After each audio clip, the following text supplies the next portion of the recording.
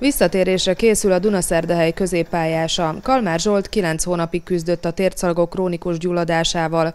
Augusztusban esett át térdműtéten, aminek következtében több mint 6 hetes kihagyásra és rehabilitációra kényszerült. A sportoló azonban már dolgozik a visszatérésén.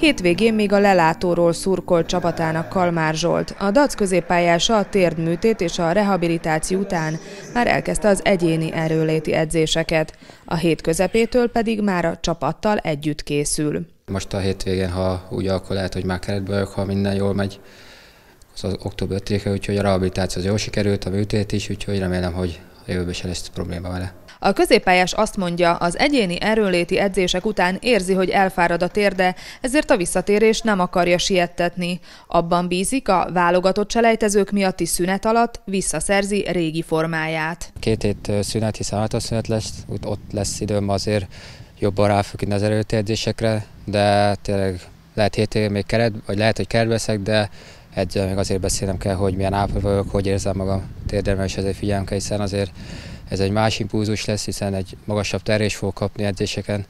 Kíváncsiak, hogy fog reagálni a térdem. Kalmár Zsolt bízik abban, a magyar válogatott novemberi eb elejtezőinek idejére már visszanyeri a formáját, és bekerülhet a nemzeti csapat keretébe.